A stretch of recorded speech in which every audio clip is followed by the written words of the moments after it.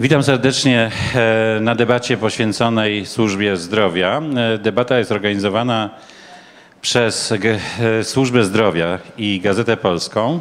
Jak Państwo wiedzą, żeśmy uruchomili taki cykl debat publicznych. Wczoraj była o inwestycjach z bardzo dużymi funduszami zagranicznymi i ministrem, wicepremierem Morawieckim. Jutro będziemy mieli debatę na temat podatków. Zapoczątkowaliśmy ten cykl w zeszłym roku debatą o obronności, a jeszcze wcześniej spotkałem biznesmenów e, z politykami wtedy jeszcze opozycyjnego PiSu. E, I te debaty obradzają w bardzo dużą ilość tekstów, polemiki, materiałów telewizyjnych i radiowych. I mam nadzieję, że e, również ta debata posłuży naszym kolegom dziennikarzom do jakichś głębszych rozważań. Debatę będę prowadził z panią Renatą Furman ze Służby Zdrowia, która jest większą specjalistką na pewno ode mnie w tych sprawach, aczkolwiek muszę się przyznać, że ja wracam do źródeł, bo 25 lat temu byłem rzecznikiem prasowych Naczelnej Rady Lekarskiej. Nie było to moje pierwsze stanowisko dziennikarskie, ale takie pierwsze publiczne, więc można powiedzieć, że od tego zaczynałem e, swój marsz e, do ważniejszych funkcji w dziennikarstwie. A teraz pani Renata przedstawi naszych dostojnych gości. Bardzo dziękuję. Dzień dobry Państwu. Proszę Państwa, pan redaktor Sakiewicz powiedział, że debaty, które zapoczątkowała Gazeta Polska, dziękuję Pani, y, obfitują w liczne potem komentarze, polemiki. Ja mam ogromną nadzieję, że polemik po naszej debacie nie będzie, dlatego że będziemy mówili o zdrowiu publicznym i ta troska o zdrowie publiczne, wierzę w to głęboko, absolutnie wszystkich nas łączy. Cieszę się, że zaproszenie do udziału w debacie e, przyjęli tak znakomici goście i witam serdecznie pana ministra Jarosława Pinkasa, sekretarza stanu w Ministerstwie Zdrowia. Witam serdecznie pana Witolda Bańkę, ministra sportu i turystyki. Jest z nami pan profesor Zbigniew Gaciąg z Warszawskiego Uniwersytetu Medycznego. Jest pan dyrektor Krzysztof Brzuska, pan dyrektor Polskiej Agencji Rozwiązywania Problemów Alkoholowych. Witam serdecznie pana doktora Rafała Steca z Wojskowego Instytutu Medycznego. Pan doktor jest onkologiem. I witam serdecznie pana Krzysztofa Przybyła, który jest prezesem Fundacji Teraz Polska. Drodzy Państwo, będziemy mówili o zdrowiu publicznym, będziemy mówili yy, o tym, jak walczyć z chorobami cywilizacyjnymi, więc powiedzmy sobie bardzo krótko i rzeczywiście bardzo krótko, bo patrzę na salę i wiem, że są tu osoby przygotowane do yy, tego, żeby na taki temat rozmawiać tym więcej ta prezentacja, którą teraz chcę Państwu przedstawić, będzie króciutka z uwagi na naszych gości, którzy są absolutnymi ekspertami w tej dziedzinie, o której będziemy e, teraz mówić. Ja poproszę tę krótką bardzo prezentację. Nie wiem, jak stanę tak, żeby było nam jak najwygodniej patrzeć na to.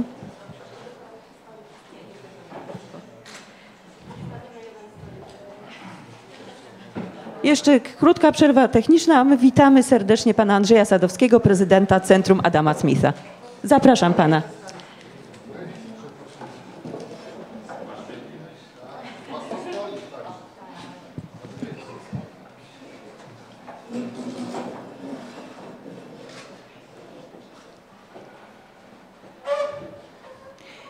I spójrzmy proszę na tych kilka slajdów. Będziemy mówili o tym, jak skutecznie walczyć z chorobami cywilizacyjnymi w kontekście zdrowia publicznego jako elementu polityki rozwoju państwa. Bardzo proszę. Drodzy Państwo, co to są choroby cywilizacyjne? One są też nazywane chorobami XXI wieku. E, ale przypomnę, że nie tak dawno, kilkanaście lat temu, w wieku XX, mówiliśmy, że choroby cywilizacyjne to wyzwanie wieku XX. Tak jak nasza ludzkość się rozwija, jak postępuje postęp technologiczny, e, tak coraz więcej tych chorób cywilizacyjnych się e, pojawia. Bardzo proszę, to jest problem oczywiście krajów wysoko rozwiniętych, Polski również to e, dotyczy.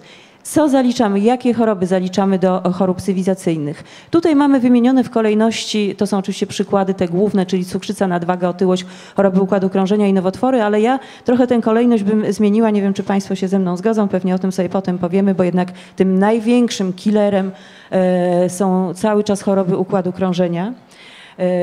Mamy też nowotwory, no a tutaj cukrzyca jest jedną powiedzmy z przyczyn chorób układu krążenia, a z kolei przyczyny powstawania cukrzycy, zachorowalności na cukrzycę to między innymi nadwaga i otyłość. Co sprzyja rozwojowi tych chorób? Wszyscy wiemy, Wydaje się, że sprawy proste, ale te przyczyny się zupełnie nie zmieniają i nie chcą nam zniknąć. Nie radzimy sobie z tym wszystkim. Czyli siedzący tryb życia, brak aktywności fizycznej, ograniczenie ćwiczeń do minimum, niewłaściwa dieta, czyli bogata w produkty wysokotłuszczowe, zawierająca zbyt dużą ilość cukrów, w końcu używki, palenie tytoniu, nadużywanie alkoholu i stres. Przy czym może powiedziałabym, że nie stres jako taki, tylko brak umiejętności radzenia sobie ze stresem.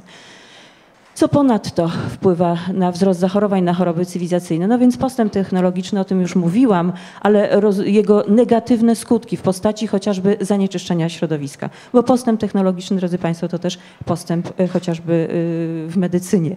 A więc taki postęp technologiczny negatywny dla nas. Od czego zależy nasze zdrowie? Tutaj oczywiście y, y, wielu z Państwa przychodzą na myśli natychmiast y, Paula Lelonda. W 1974 roku kanadyjski minister zdrowia mm, określił ten taki torcik, od czego należy, zależy nasze zdrowie.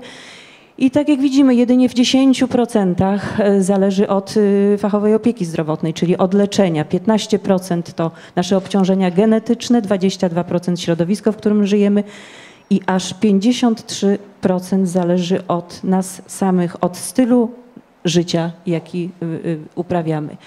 Czyli 53%, największy wpływ na zdrowie człowieka, styl życia, co się na niego składa? Znowu wracamy do tego samego. Aktywność fizyczna, sposób odżywiania się, umiejętność radzenia sobie ze stresem, stosowanie używek, nikotyna, alkohol, środki psychoaktywne i zachowania seksualne, powiedziałabym ryzykowne zachowania seksualne. Drodzy Państwo, to tak bardzo krótko to, o czym będziemy chcieli dzisiaj rozmawiać. Bardzo proszę. Teraz przejdziemy do e, panelu pytań. Chcieliśmy zacząć od tego, żeby każdemu z gości zadać najpierw jakieś pytanie, a potem, żeby mógł się wypowiedzieć, a potem będziemy zadawać pytania. Państwo będą mieli okazję zadawać pytania. Bardzo proszę. Najchętniej zaczęłabym pytaniem skierowanym do pana profesora Gaciąga, jeśli pan pozwoli, panie profesorze, bo powiedzieliśmy y, krótko oczywiście o tym y, stylu życia. Y, I teraz tak, od czego my powinniśmy zacząć, chcąc go zmienić? Od zmiany diety, od tej aktywności fizycznej, a jeśli od diety, to czy mamy to rozumieć w ten sposób, że powinniśmy zmienić ilość jedzenia, które zjadamy, czy też jakość tego jedzenia, jakie spożywamy? Od czego zacząć? Powinien człowiek, który chce prowadzić zdrowy tryb życia? Bardzo dziękuję za zaproszenie. Może najpierw krótka uwaga dotycząca semantyki. Otóż Światowa Organizacja Zdrowia ze swojego słownika usunęła pojęcia choroby cywilizacyjne i to wiąże się z językiem politycznej poprawności.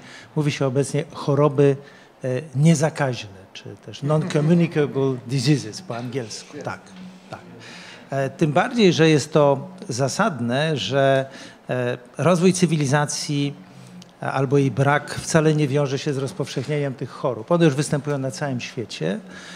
Różnica jest tylko taka, że osoby w krajach biednych, czyli głównie dotyczy to regionów Ameryki Południowej i Afryki, mają niestety dwukrotnie większe ryzyko zgonu, jeśli taka choroba u nich wystąpi, aniżeli mieszkańcy bogatszej części naszego globu. I warto też dodać, że poza schorzeniami układu krążenia do tego grona chorób związanych ze stylem życia należy też zaliczyć niektóre nowotwory. Nowotwór nie jest e, tylko i wyłącznie nieszczęściem spowodowanym przez los i zmiany w DNA komórki. On wiąże się z określonymi elementami naszego życia i mowa jest nie tylko o paleniu tytoniu i raku płuca i niektórych innych nowotworach, ale także takie częste guzy jak rak piersi u kobiet, rak jelita grubego, druga przyczyna na liście zgonów w populacji są także związane ze stylem życia, czyli krótko mówiąc są możliwe do e, uniknięcia. Od czego zacząć, żeby zatem tych chorób uniknąć? Odpowiedź na to jest bardzo prosta. Od wszystkiego. E, każda z metod, która wiąże się z, czy każdy z elementów tak zwanego e, zdrowotnego stylu życia jest ważny. Bez wątpienia największy problem w chwili obecnej, poza używkami, o tym będzie jeszcze, jak rozumiem, mowa, bo są eksperci, do, dotyczy tak wymieniając po kolei, w pierwszej kolejności otyłości, czyli związanej głównie ze sposobem odżywiania. To nie jest tak, że otyłość współcześnie wynika z tego, że ludzie się mniej ruszają i mniej wydatkują energii. Jednak analizy pokazują, że bezpośrednio przyczyną zwiększenie liczby konsumpcji kalorii, czyli że jemy więcej i tu wszyscy wokół nas są przeciwko nam, bo przykładowo zwiększył się wymiar talerza. No, patrzę po widowni, to Państwo tego nie pamiętacie, ale 30 lat temu talerze były o jeden cal mniejsze, czyli o 2,5 centymetra mniejsze. Jeszcze pewnie u babci można takie talerze znaleźć. W Polsce też są już duże talerze. Tak, tak. E, zwiększył się również, e, zwiększyła się wielkość porcji serwowanych. E, również pojawiło się mnóstwo powszechnie dostępnej, wysokoenergetycznej żywności. E, ja zadaję zawsze takie pytanie studentom, ile więcej musi jeść kobieta karmiąca, która jak wiadomo je za dwóch w przeliczeniu na kilokalorie. To jest 500 kilokalorii, czyli to jest batonik Mars w promocji, czyli to jeszcze 25% dodatkowo dołożone w tej samej cenie. I to jest podstawowy problem. Ilość, ja nie będę się rozgadywał. Dwa, jakość i tutaj jak Państwo śledzą, a teraz ostatnio się toczy bardzo żywa dyskusja na temat optymalnej diety, czy tłuszcze, czy cukry to bez wątpienia, o ile nie można powiedzieć, że jest jakaś idealna dieta, która człowieka od razu doprowadzi do właściwej masy ciała, to bez wątpienia epidemia otyłości globalnie wiąże się ze zwiększeniem spożycia cukru w naszych e, potrawach i zwłaszcza e, dotyczy to cukru dodawanego w sposób przemysłowy, czyli nie cukru stołowego, ale zagęszczonego syropu kukurydzianego, czyli zawierającego mieszankę glukozowo-fruktozową. To jest wszystko e, obecne czy w napojach gazowanych, czy we wszelkiego rodzaju produktach, które są zapakowane. Czyli nieszczęście to jest żywność, która jest zawinięta w jakiś ładny celofan lub błyszczący papierek. Bardzo dziękuję. Jeśli mogę, ja tylko dopytam, bo e, panie profesorze, no pan powiedział, że trzeba zacząć od wszystkiego. Przecież to nie jest takie łatwe. Trzeba zacząć od przełamywania pewnej, no nie wiem, nawyków, jakichś mentalnych granic. Czy nie trzeba zacząć od edukacji?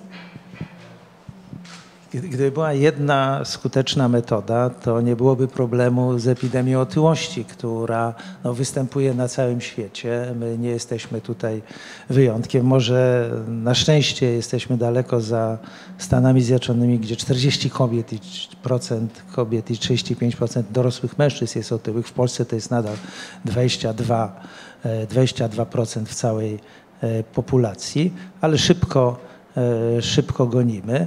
I no, jeśli rozmawiamy z kimś o zmianie stylu życia, to mówimy z osobą, która po pierwsze uhodowała w sobie nawyki przez dekady życia, a wiadomo, że przyzwyczajenia jest bardzo trudno zmienić. Niejednokrotnie jak ja rozmawiam z pacjentem, to rozmawiam nie z tą osobą, bo ja mówię o diecie e, z mężem, a powinienem zacząć od żony czy od, od całej, e, od E, całej rodziny. Także e, nie tylko edukacja i to prowadzona na najniższym szczeblu, może niech dzieci uczą rodziców e, wiedzą wyniesioną ze szkoły czy z przedszkola, ale tu jest pewnie, no, patrząc na przykłady innych krajów, wiele możliwych sposobów oddziaływania, od miękkich do twardych, czyli nawet polityki fiskalnej dotyczącej no, nakładania podatków na produkty, które niekoniecznie chcemy, żeby dominowały w naszej diecie.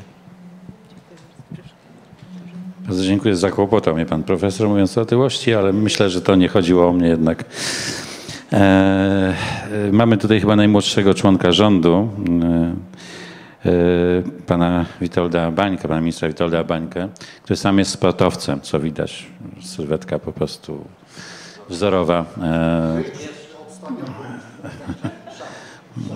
Znaczy, ja mam właśnie sylwetkę brydżową, proszę mi wierzyć. To, to jest efekt ćwiczeń w młodości dużo przy brydżu e, i szachach. E, natomiast e, wydaje się, że patrząc na te wyliczenia, które tutaj pani redaktor przedstawiła, to tak naprawdę pan minister zdrowia ma 13% do powiedzenia, a pan ma 53% do powiedzenia. Tak?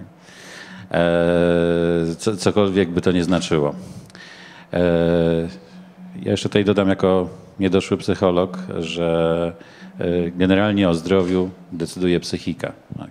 Bo człowiek podejmuje tutaj w głowie decyzję, e, jak będzie żył, jak będzie się czuł, jak będzie się leczył, a potem, czyli nastawienie. Tak? Ministerstwo Sportu to jest to miejsce, gdzie można zmieniać nastawienie człowieka, gdzie można propagować pewne postawy, styl życia, e, radzić sobie e, z patologiami, właśnie polegającymi na przykład na tym, że wszystko jest przeciwko nam. Tak? Nie, nie, nie, tylko kalendarz, który rano sporządzamy, który nas zmusza do tego, żeby nie mieć miejsca na zdrowie. Co dzisiaj Ministerstwo Sportu może zrobić, ale nie dla tych chłopców, którzy grają na mundialu i jutro grają Niemcy, ale dla nas, żebyśmy dożyli do końca meczu, na przykład nie dostając zawału. Witam serdecznie, bardzo dziękuję za, za zaproszenie i jakby docenienie też roli sportu, bo te dane 53% y, uwzględniające jakby styl życia pokazują e, ogromną rolę sportu i tego aktywności fizycznej właśnie w kontekście prozdrowotności. No oczywiście ci panowie, którzy y, teraz wzbudzają największe nasze emocje przed, przed telewizorami, to oni nie mają problemu z nadwagą i otyłością. Dzisiaj to są już absolutni profesjonaliści w tym względzie, więc na ich temat nie będziemy e, naturalnie tutaj rozmawiać. E, no problem jest, jest globalny. Około 50% Polaków według wszelkiego rodzaju badań nie podejmuje się jakiejkolwiek aktywności fizycznej. Za, za zaledwie 20% naszych E, naszych rodaków e, tą aktywność podejmuje, uprawia sport.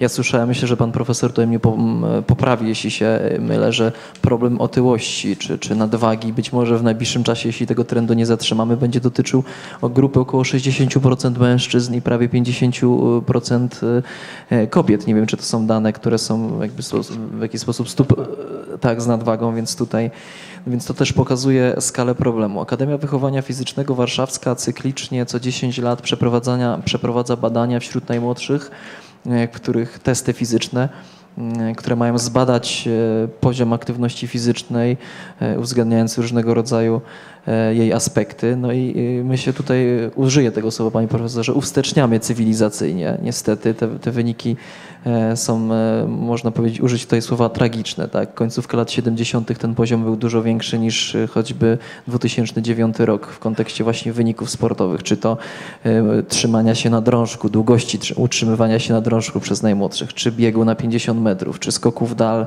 z miejsca. To są takie testy, które mają pokazać różne różne rodzaje aktywności fizycznej. Więc problem jest i to jest problem, e, który, któremu staramy się e, w jakiś sposób małymi, małymi krokami e, zaradzać, choćby w kontekście różnego rodzaju programów upowszechniania sportu, które, które dofinansowujemy, które realizujemy właśnie wśród, wśród dzieci, młodzieży, programy aktywizujące najmłodszych, choćby program Umiem Pływać pod taką nazwą, którego zadaniem jest nauka pływania w klasach 1-3 właśnie w szkole, w szkole podstawowej, ale to są także programy, programy, które realizują związki sportowe promujące poszczególne dyscypliny sportu właśnie wśród najmłodszych. To jest kwestia sportu e, masowego, czyli różnego rodzaju imprez e, biegowych, jazdy na rowerze, pływania. To jest też zmiana kwestii i podjęcie kwestii mentalności, tak? tutaj edukacji E, rodziców. No, najmłodszy dziecko i, i młodzieniec nie podejmie się aktywności fizycznej, jeśli nie będzie też miało e, przykładu, e, przykładu z góry, więc to jest to jest na pewno wielo, wielowymiarowy i wieloaspektowy problem i, i my jako resort staramy się te, temu, temu w jakiś sposób podołać. Natomiast to też nie jest tak, że poprzez wydatkowanie środków, poprzez programy upowszechniające sport my temu problemowi zaradzimy, bo myślę, że to jest kwestia E, takiego międzyresortowego podejścia, czyli współpracy zarówno resortu sportu i turystyki, Ministerstwa Zdrowia, Ministerstwa Edukacji Narodowej. E, proszę zauważyć, że my jako resort sportu i turystyki, mimo że zajmujemy się sportem sensu stricte również, natomiast nie mamy wpływu na edukację najmłodszych e, w klasach na przykład 1 czy w szkole podstawowej na program wychowania fizycznego, bo to jest zadanie Ministerstwa Edukacji Narodowej, więc musimy tutaj w tym zakresie e, współpracować. Pojawia się pewnego rodzaju problem. Środowisko sportowe, środowisko nauczycieli wychowania fizycznego stoi na stanowisku, że WF wśród tych najmłodszych w tym nauczaniu wczesnoszkolnym powinni prowadzić nauczyciele wychowania fizycznego, a nie nauczyciele wczesnoszkolni. I tutaj pojawia się też problem i konflikt między dwoma grupami zawodowymi. Więc temu, temu też trzeba w jakiś sposób e, zaradzić i, i, i, i podołać. Bardzo dziękuję. Y, Wiem, że pan minister będzie nas musiał około 11 y, opuścić, dlatego pozwolę sobie jeszcze dopytać, korzystając z tego, że pan jest z nami, bo uprzedził pan moje pytanie mówiąc o tym, o, o konieczności współpracy pomiędzy resortami, ale też niestety powiedział pan o trudnościach w tej współpracy. E, Czy takim mm, e, mm, jakby mm, dokumentem, czy też y, przestrzenią do dialogu do otwarcia dialogu pomiędzy wszystkimi resortami e, nie jest ustawa o, zdrowiu publicznym, której nie tak dawno się e, doczekaliśmy. Czy ta właśnie silosowość tutaj nie może być wreszcie przekroczona? I w końcu moje e, pytanie, czy y, są podejmowane kroki, czy są jakiekolwiek programy wspólnie realizowane, na przykład z Ministerstwem Edukacji? Oczywiście, że tak, my tę współpracę podejmujemy i tutaj jest dialog prowadzony i tutaj też bardzo dziękuję pani minister Zalewskiej za wolę współpracy i jakby otwartość na, na, na, na tą współpracę. E, Odbyliśmy też konsultacje właśnie ze środowiskiem e, nauczycieli wczesnoszkolnych, nauczycieli wychowania fizycznego, żeby próbować wypracować jakiś kompromis w tym zakresie. Chcemy wrócić do koncepcji tak zwanych SKS-ów, czyli szkolnych klubów sportowych. Przez wiele lat to funkcjonowało, wielu z nas się z tego e, wywodzi, więc tutaj też, też podejmujemy, podejmujemy te działania.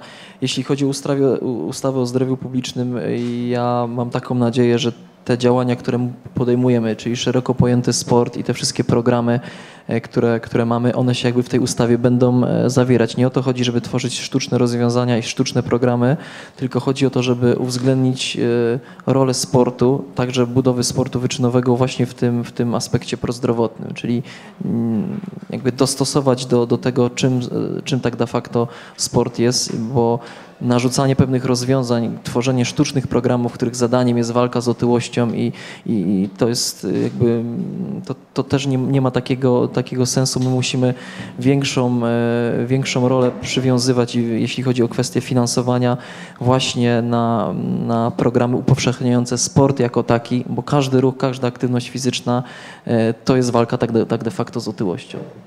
Jasne, bardzo dziękuję. Bardzo dziękuję za te słowa, że nieważne są te sztywne programy, bardziej dialog i współpraca, taka, taka miękka, bo ona przynosi dobre rezultaty. Yy, Liderem w tworzeniu ustawy o zdrowiu publicznym był resort zdrowia. Państwo tutaj mają najwięcej do powiedzenia, panie ministrze, więc bardzo proszę, gdyby pan zechciał jeszcze do e, tego nawiązać, ale też y, proszę mi pozwolić ym, wrócić do tego, co powiedział pan e, redaktor e, Sakiewicz o tym, ym, i- ile procent tutaj Ministerstwo Zdrowia może w jakim procencie zadziałać. Oczywiście pan miał na myśli leczenie i z tym się zgadzamy, o tym mówiliśmy na samym początku, ale resort zdrowia to też cała profilaktyka. Jakie programy państwo prowadzą, na czym się chcą państwo skupić?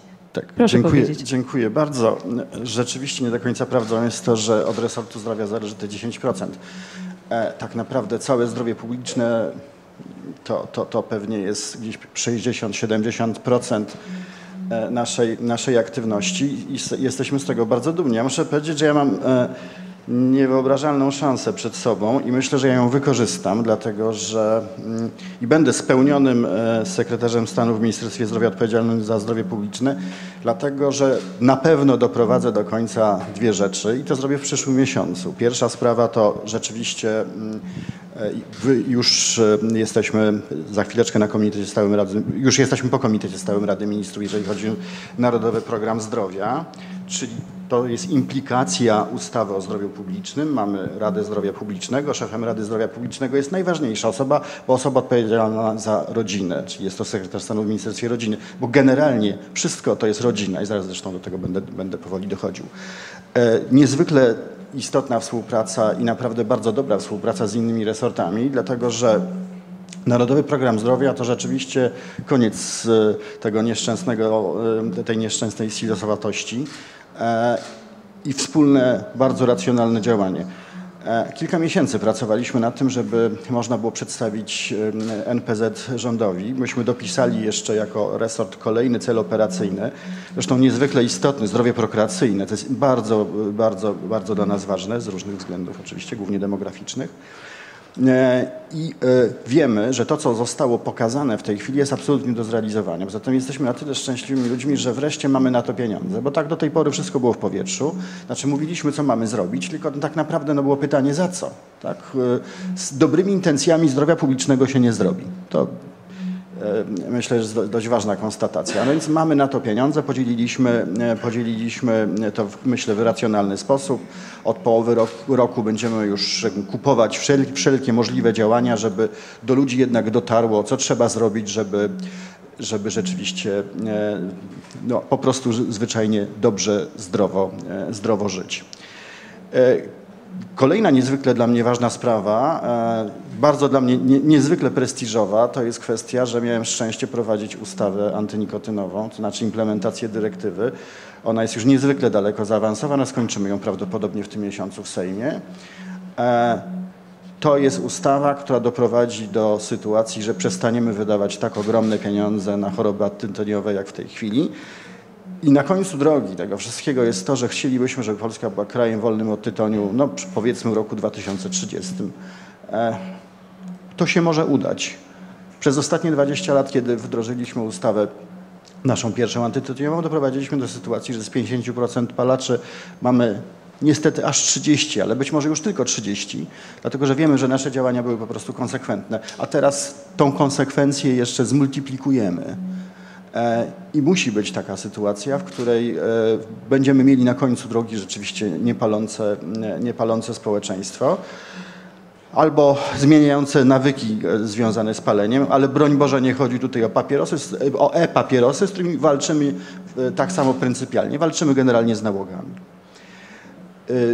Mam wrażenie, że te dwie rzeczy spowodują już to, że rzeczywiście przestaniemy wydawać tak ogromne pieniądze na różne choroby związane ze złym stylem życia, bo to są dla nas gigantyczne pieniądze. My w ciągu 10 lat wydajemy mniej więcej 140 milionów złotych na na leczenie chorób odtytoniowych. To są niewyobrażalne pieniądze. 140 miliardów, miliardów, tak. To są niewyobrażalne pieniądze i musimy to zahamować. No, żaden system tego nie wytrzyma. Ale oczywiście tych zdarzeń jest cała masa. Najważniejszą rzeczą jest to, żeby edukować, a nie zakazywać I, i, i, to jest jak gdyby misja ministra zdrowia. Oczywiście najprostszą rzeczą jest wprowadzić jakiś zakaz, prawda, albo, albo, albo wprowadzić jakieś bardzo istotne nie wiem, e, uregulowania podatkowe. Wydaje nam się, że to może nie do końca jest dobre. Raz, że budzi to niezwykle duże emocje, a dwa, że jednak jeżeli wprowadzimy dobre programy edukacyjne, te, które się rozpoczynają przy stole rodzinnym. Bo tak naprawdę e, ja uważam, że najważniejszy w rodzinie jest stół, przy którym zasiadają rodzice, dziadkowie, dzieci, rozmawiają i tam się tworzą prawdziwe projekty prozdrowotne dla całej rodziny. A później spacer, panie ministrze, do granicy wysiłku. Później oczywiście można oglądać kolejny zwycięski mecz, ale już bez chipsów, tylko z marchewkami na przykład. I to rzeczywiście będzie coś zupełnie nadzwyczajnego. Trzeba to zrobić w rodzinie. Nie możemy przerzucać wszystkiego na, na, na szkołę. Natomiast musimy doprowadzić do sytuacji, w której po pierwsze rodzice mają czas na swoje, do swoich, na swoje dzieci, czyli to jest cała też polityka społeczna, prawda? Nie umowy śmieciowe, tylko coś szalenie racjonalnego. Po coś na tym świecie jesteśmy. I my tutaj jesteśmy absolutnie dobrą zmianą. I muszę powiedzieć, że, że ja mam poczucie, że te 7 miesięcy naszego rządzenia to są, to, to już to w tej chwili widać, że się wiele zmieniło, prawda? Że ludzie może zaczną mieć czas dla siebie, bo jednak my o tym w przestrzeni publicznej e, ciągle, e, ciągle mówimy. Zdrowie publiczne e, jest najważniejszą częścią e, ministra zdrowia w tej chwili. Bo oczywiście wszyscy uważają, że należy z, walczyć z kolejkami, e, prawda, zwiększyć dostęp do szpitala, ale tak naprawdę, proszę Państwa, minister zdrowia jest po to, żeby nasz naród był po prostu zdrowy, żeby te nawyki w taki sposób wdrożyć, zaimplementować, żeby to było coś bardzo, bardzo trwałego. I tutaj robimy szereg różnych rzeczy, które, które myślę są już całkiem spektakularne. Poza tym też jesteśmy wszędzie, to znaczy staramy się dotrzeć do szkół, e, no właśnie do rodzin. Myślę, że, że tutaj e, użyję takiego słowa, które bardzo, czy słów, które bardzo lubię, że jesteśmy skazani na sukces, ponieważ jesteśmy niezwykle pryncypialni. Bardzo dziękuję Panie Ministrze. Szereg pytań się zrodziło, jak pa- Pana słuchałam. Pozwolę sobie do nich wrócić jakby w, ko- w kolejnej e, turze. A teraz patrzę w kierunku Pana Dyrektora Krzysztofa Brzuski, bo e, Pan Minister powiedział o mm, e, paleniu tytoniu, o, o tym nałogu. Pan znany jest w naszym kraju jako osoba, która walczy nie tylko ze skutkami e, rozpowszechnionego tu w naszym kraju nałogu spożywania alkoholu, ale w ogóle jakby z alkoholem jako takim. Proszę powiedzieć, dlaczego to jest tak wielki problem i czy to jest tylko problem społeczny, jak często słyszymy, alkoholizm problemem społecznym? Wydaje mi się, że niekoniecznie. Jestem ciekawa Pana opinii. Bardzo dziękuję za zaproszenie w y, tym zacnym gronie. Ja y, pewno czasem będę troszkę w opozycji do, do, do moich przedmówców właśnie z racji tej, że alkohol odgrywa w naszym życiu, w naszej kulturze dość szczególną rolę. Przez fakt, że istnieje bardzo wiele lat, y, obrósł również mitami. I cóż, mówiąc szczerze, oprócz informacji takiej, że warto szerzyć wiedzę, trzeba prowadzić działania profilaktyczne, to niestety w pewnej opozycji do pana ministra powiem, że bez e, w sytuacji, w której jesteśmy, bez działań administracyjnych na pograniczu zakazów, y, dużo dalej, dużo dużego kroku y, nie zrobimy. Dlaczego tak jest? Otóż po pierwsze, tak jak słuchałem y, przedmówców, to do każdej z wypowiedzi mogę dołożyć y, część związaną z alkoholem, bo jeśli mówimy o otyłości, no, na, na produktach alkoholowych nie ma informacji o kaloriach. Chcę powiedzieć, że lampka wina potrafi być bardziej kaloryczna niż y, półlitrowe opakowanie y, napoju gazowanego, który został wyprowadzony ze szkół. O tym warto wiedzieć.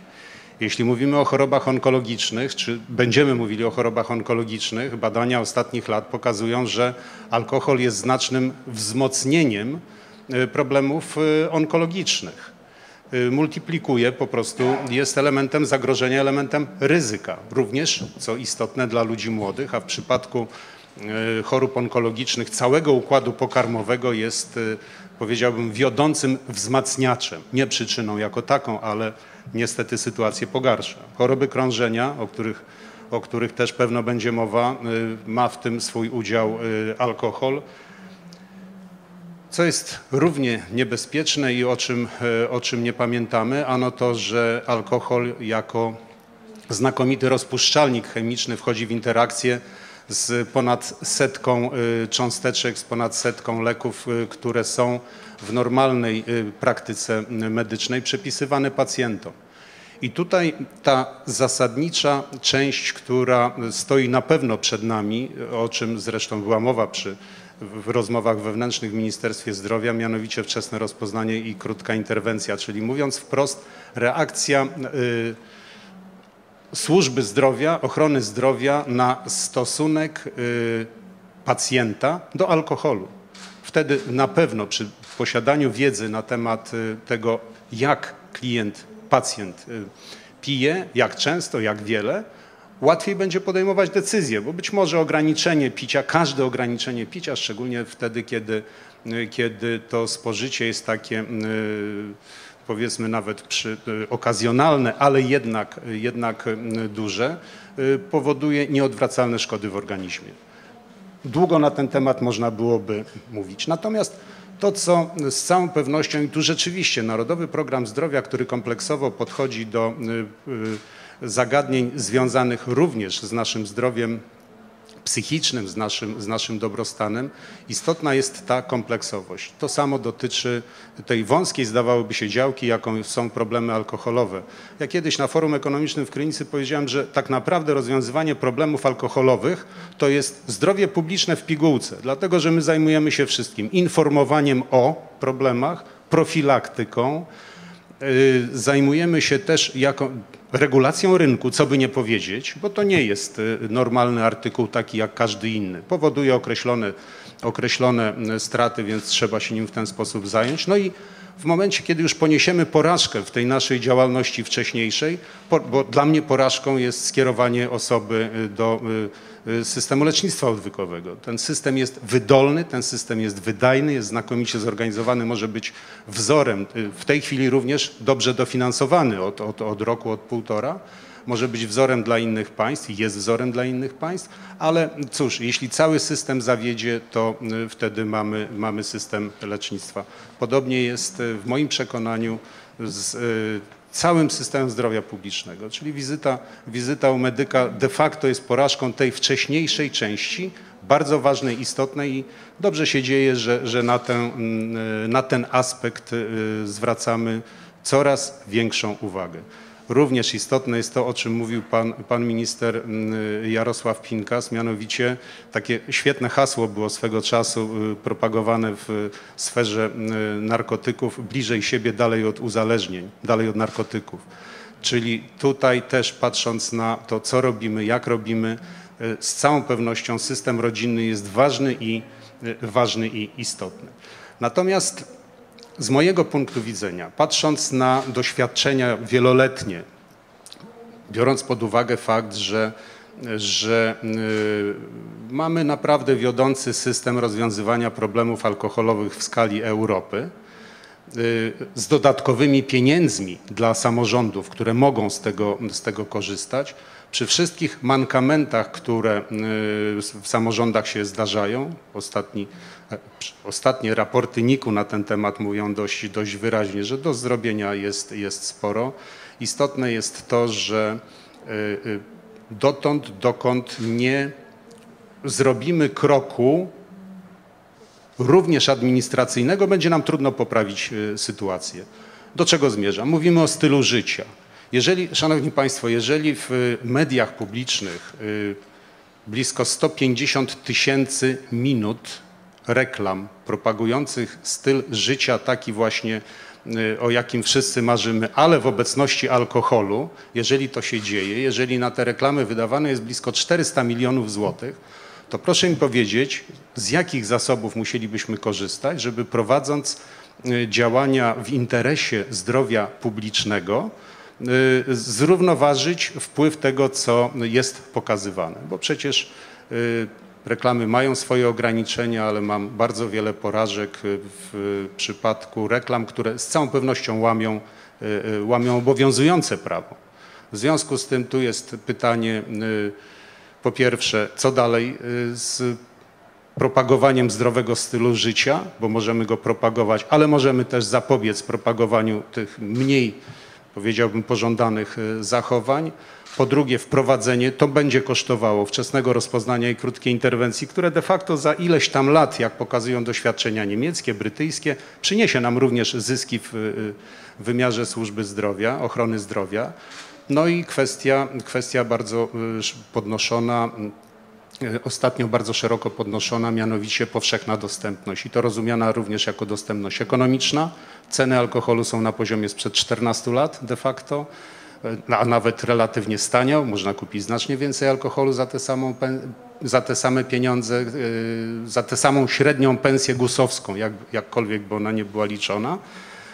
I dostępność bezpośrednia, czyli te sklepy, które nam się wlewają, to już nie jest dystrybucja, to jest nachalne wlewanie się punktów sprzedaży alkoholu. To są problemy, wyzwania przed którymi na pewno stoimy. Tak jak mówię, bardzo słuszne zdania, które tutaj słyszałem. Ja muszę uzupełnić o to, co mnie, co mnie boli, czyli jeszcze o tę część, o tę część administracyjną. Ona musi być stosowana. Alkohol jest legalną trucizną. Jest trucizną, ale jest legalną trucizną ze wszystkimi skutkami używania trucizny. Bardzo dziękuję. E, ja z, z czasu swoich studiów pamiętam takie ćwiczenie, że e, psycholodzy, którzy zajmowali się problemem uzależnień, poprosili, żebyśmy sobie wypełniali choćby przez tydzień w kalendarzu, czy danego dnia chcesz pić alkohol lub wypiłeś. I ogląd po tygodniu dla większości studentów był tak wstrząsający, jak sami to zobaczyli, że no, na jakiś czas podziałało. No, potem się przestał wypełniać kalendarz, tak, ale, ale na jakiś czas to rzeczywiście działa. Gdyby człowiek sobie sam zaznaczył, ile w planie dnia ma razy spożyć alkohol, to jest to mocne. Tutaj pan prezes e, Andrzej Sadowski, prezes Centrum Smitha, który nas dołączył jak meteoryt, chce zaraz wychodzić, więc e, nie możemy go nie wykorzystać. E, mm, mamy w tej chwili szereg badań nad tym, jak obniżyć szkodliwość różnych używek. Tak, mamy e, kawy, e, które są bezkofeinowe, nie wiem, czy one mniej szkodzą. E, W tej chwili najnowszy produkt, który sam widziałem na własne oczy, ale nie jest chyba produkowany jeszcze w Polsce i Polska Akademia Nauk na tym prowadzi, jak obniżyć szkodliwość palenia. A nie chodzi o i papierosy, tylko o tak zwane wyroby tytoniowe o niskiej szkodliwości.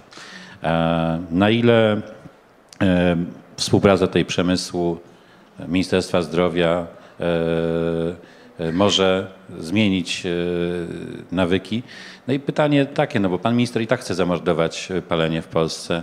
Na ile to ma sens, tak? Czy my jesteśmy w stanie pomóc tym ludziom, którzy i tak nie rzucą palenia przez tego typu działania? Bardzo dziękuję za zaproszenie. Usprawiedliwię się, że dosłownie za 40 minut e, mam prezentację w- Episkopacie Polski na tematy gospodarcze i stąd moja taka trochę tutaj krótka u Państwa obecność. Ja z chęcią zostałbym do końca e, tej debaty, bo zapowiada się później na wiele głosów polemicznych. Ale tak jak zauważyliście Państwo na początku w tych e, badaniach, które były prezentowane, jednak, e, i to co mówił Pan redaktor, no wszystko mamy w głowie. I tego się z dnia na dzień nie da zmienić, skoro za nasze zdrowie odpowiada nasz styl życia. Skoro jednak e, Polacy palą, mimo że palą mniej, e, to warto właśnie dać im szansę e, wyboru między produktami, które w Ameryce dopuszczono jako właśnie produkty, które są obniżonego ryzyka. I są to właśnie papierosy, które agencja federalna e, nie tylko dopuściła, ale, że tak powiem, wskazuje na rozwiązania mniej e, szkodliwe dla organizmu, jeżeli ktoś naprawdę ma taką frajdę z palenia papierosów. Tak jak amerykańska federa- e, agencja e, od lat wymusza obniżenie e, norm, jeżeli chodzi o spalanie w samochodach, tak i tutaj dokonała e, wymuszenia na koncernach produkujących e, papierosy, aby ten właśnie wskaźniki obniżać i zmienić też technologię, bo zmieniła się technologia, która sprawia, że papieros się nie pali, tylko ten tytoń się podgrzewa. Dzięki temu już e, nie ma tych ciał smolistych e, w tym wszystkim i to właśnie Polska Akademia Nauk na zlecenie międzynarodowych koncernów e, bada jako rzecz e, wyjątkowa w świecie zresztą, co warto podkreślić, że polscy naukowcy w tym zakresie e, prowadzą badania. I to, co też jest tu istotne z tych amerykańskich badań wynika, że dzięki temu obniżono średnią szkodliwość e, tych papierosów, które Państwo dzisiaj znają i być może niektórzy z nich korzystają i jeszcze dla upodobania o prawie 90 czy około 90% szkodliwości. Także to są już rzeczy, które warto byłoby wiedzieć i warto byłoby, żeby w Polsce, tak jak e, w Rosji, e, w Ukrainie, w Szwajcarii, w Portugalii, we Włoszech czy jeszcze kilku innych krajach te produkty nie tylko e, były e, dopuszczone do sprzedaży, ale żeby to, co powinno się moim zdaniem znaleźć w dyrektywie, obywatel miał szansę wiedzieć, że może kupić e, produkt o obniżonej szkodliwości, obniżonym ryzyku, a tego zdaje się może nie mieć takiej szansy i wtedy niestety będzie kupował te tak zwane tradycyjne. Bardzo dziękuję. E, Jeżeli pan ma jeszcze chwilę czasu, żeby zostać, e, to jeszcze pytanie do pana prezesa Przybyła, który jest prezydentem Fundacji Teraz Polska. E, Bardzo dużo e, jeszcze, pan minister już musi iść, tak? Dobrze, no to jeszcze dajmy Ja przepraszam panie rektorze, bardzo dziękuję za, za zaproszenie. Przepraszam drodzy państwo, że tak krótko, ale niestety dalsze obowiązki wzywają, także bardzo jeszcze raz dziękuję biegał, za, za... Chętnie bym popolemizował tutaj, ale niestety. Także tak, no, na trening Też taki zawodowy niestety. Tak, To w takim razie żegnamy dwóch naszych e, panelistów. Dziękuję bardzo. E, Bardzo dużo Fundacja Teraz Polska w ostatnich latach innowacyjności poświęciła. Zresztą mam wrażenie, że jest to hasło tego rządu w tej chwili, przynajmniej hasło gospodarcze. Na ile e, w ogóle badania w tej chwili e, nad rozwojem nowych technik, zarówno w zdrowiu, jak i w stylu życia, mogą zmienić naszą sytuację zdrowotną. Pewnie Państwo nie wiedzą, ale kilka rzeczywiście innowacyjnych metod leczenia, jak na przykład metody profesora Skarżyńskiego, e, to są polskie metody, tak, które są e, niezależnie od dyskusji, kontrowersji, które dzieją się wokół tego, to są polskie metody. E, Te, tak samo prawdopodobnie mamy też polskie pomysły na zdrowy styl życia. Na ile to można zmienić naszą sytuację? Dziękuję panie redaktorze, dziękuję bardzo za zaproszenie.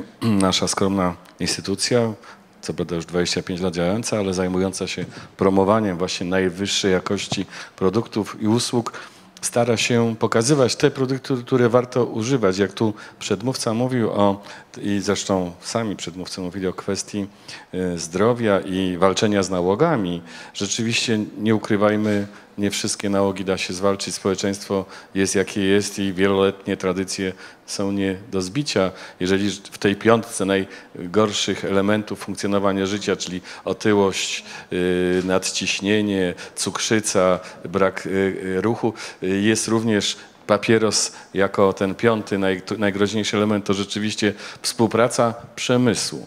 Przemysłu z nauką daje możliwości, czyli innowacyjność, daje możliwości wytwarzania takich produktów i usług, które będą wspierały te, y, nazwijmy, zdrowe życie. Ale fundacja, mm, korzystając z tego, że jest najlepiej rozpoznawalną marką, jeśli chodzi o jakość produktów i usług, od jakiegoś czasu wspiera różnego rodzaju przedsięwzięcia, które są y, nazwijmy to takimi prekursorami tego zdrowego stylu życia, zdrowego y, w ogóle y, odżywiania się.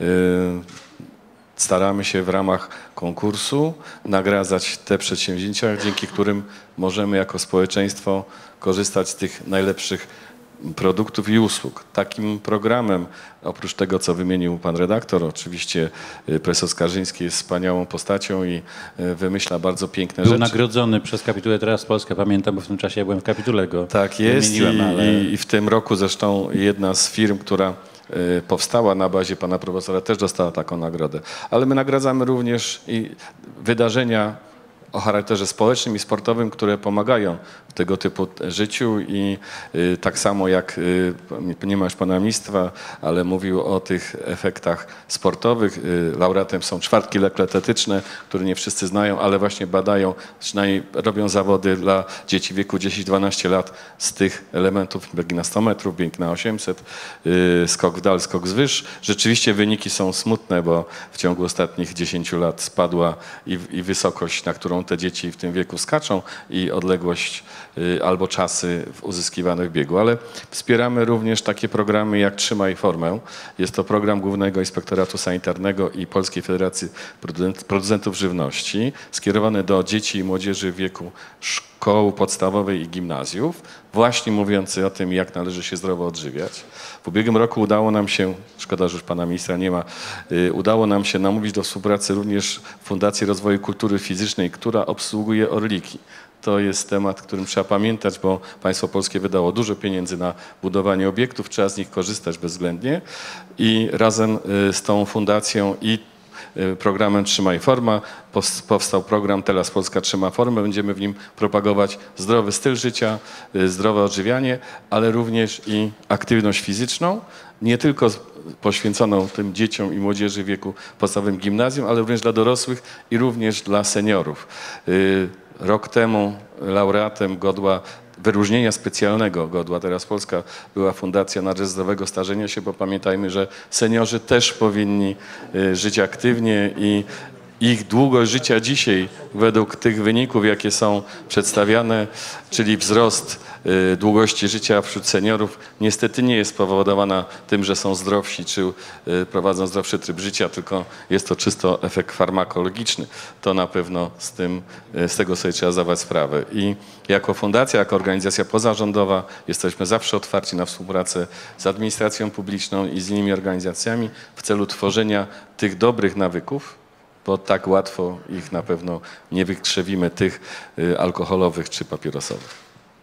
Bardzo dziękuję. Z przyjemnością słuchałam, że Państwo zajmują się promocją e, zdrowia, mają w planie promowanie e, programów prozdrowotnych, ponieważ sami są Państwo marką tego, jak umiejętnie promować dobre, mądre rozwiązania w różnych e, obszarach, w różnych zakresach.